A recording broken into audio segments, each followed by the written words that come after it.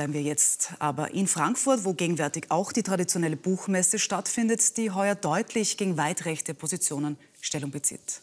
Wie etwa das ehemalige AfD-Parteimitglied Franziska Schreiber. Sie ist mit ihrem Buch Inside AfD in aller Munde.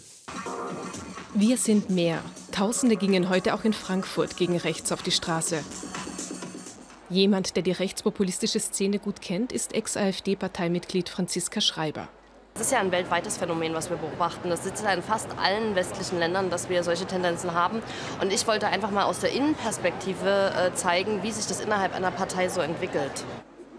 Inside AfD bietet einen erhellenden Einblick in das Triebwerk rechten Denkens. Dem Erstarken rechter Kräfte versucht sie darin selbstkritisch auf die Spur zu kommen.